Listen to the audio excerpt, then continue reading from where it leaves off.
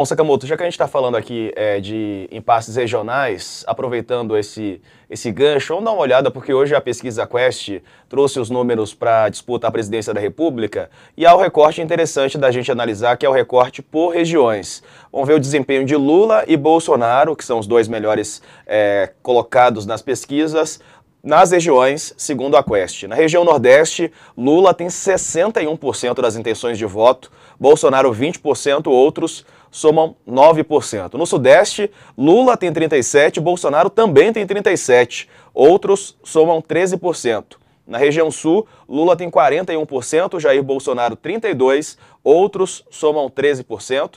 No Centro-Oeste, Lula tem 40%, Bolsonaro 35%, outros somam 13%. Já na região Norte, Lula tem 40% das intenções de voto e Jair Bolsonaro 37%, a margem de erro é de dois pontos percentuais para mais ou para menos dessa pesquisa. O que, que dá para a gente aprender desses números? Qual que é o desafio de Bolsonaro e de Lula para cada região, Sakamoto?